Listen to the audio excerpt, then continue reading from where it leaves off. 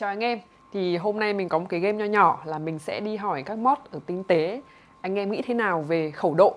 Nhưng cái đặc biệt ở đây là mọi người sẽ chỉ được nói trong ba câu ngắn gọn, cực kỳ ngắn gọn thôi. Ok, bây giờ mình sẽ đi hỏi xem mọi người nghĩ khẩu độ như thế nào.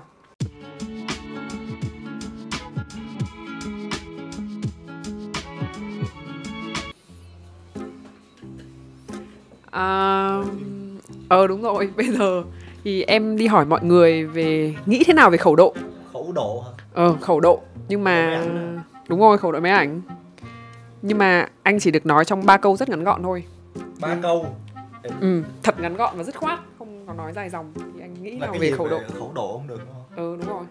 không phải đọc khái niệm đúng không Tùy anh. anh sẽ chỉnh khẩu độ để chụp trong lúc thiếu sáng để khỏi bị rung hoặc là gì đó đó để chụp thiếu sáng à.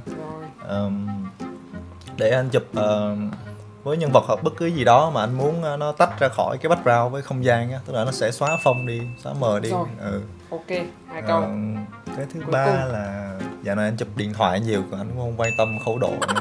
tức là khẩu độ có thể ờ, không dành cho những người chụp ảnh điện thoại như mình Ok, Ờ, không không ok cảm ơn anh. Khi mà nhắc tới khẩu độ á, thì anh sẽ nghĩ ngay tới bokeh Ờ, những cái hiệu ứng xóa phông khi chụp ảnh chân dung. Rồi, và ờ, cái tiếp theo nữa anh nghĩ tới ờ, cái giá tiền của những cái ống. Và những cái ống mà có cái khẩu độ nó càng mở nó càng lớn á thì nó sẽ càng mắc tiền. À. và cái thứ ba nữa là anh nghĩ tới những cái ống zoom mà nó có tới hai khẩu và cái chất lượng của nó so với lại những cái ống mà fix vào một khẩu thì nó Ok. như thế nào Ừ, Cảm ơn anh. ok cảm ơn em Quá. Anh Tú ơi. Khi nghĩ về khẩu độ thì anh cho em ba câu được không? Như em vừa hỏi anh Đức ấy. ba câu thứ nhất thì à, đối với anh khẩu độ càng lớn thì sẽ chụp ra được một cái tấm hình nó trong rồi sáng hơn trong cái điều kiện tối á và cái chiều sâu ảnh nó đẹp hơn và thứ hai nữa là cái ống kính mà có khẩu độ càng lớn bao nhiêu á thì giá càng mắc bấy nhiêu Ok. Điều cuối cùng. điều cuối cùng nữa là không có tiền mua Không có tiền mua à? Tại anh thích khẩu lớn đúng không? đúng rồi anh thích khẩu lớn Ok. cảm ơn em Rồi, cảm ơn anh. Minh Trí ơi. Khi ờ, nhắc đến khẩu độ thì em ờ, nghĩ như nào cho chị ba câu ngắn được không? Khẩu độ à? Ừ. Trước giờ chụp bằng ờ, D5 trăm mấy chục triệu Trăm mấy chục triệu Trăm mấy chục triệu Set auto chụp mà chứ không biết khẩu độ là gì Không, nếu mà nói về khẩu độ thì ờ, Khẩu độ nó là Nhưng mà anh Trung có nói là, độ mở của ống kính. Nghĩa là bên trong ống kính nó sẽ có một cái màng trắng Nó được cấu thành từ những cái lá Nó gọi là lá khẩu Ok.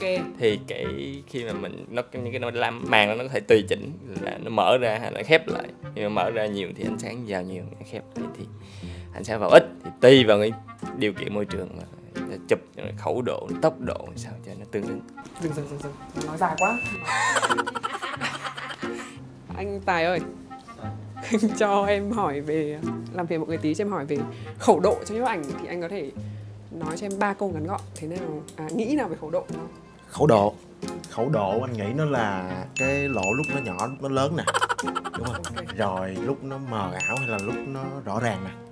Đó Câu. rồi uh, xóa phông hay không xóa phông Ờ, mình sẽ đi hỏi bạn Khang ở khắc tên bạn ấy rất hay chụp sản phẩm.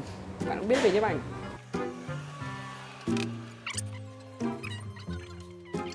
Thế giờ em có thể nói cho chị về khẩu độ trong ba câu ngắn gọn được không?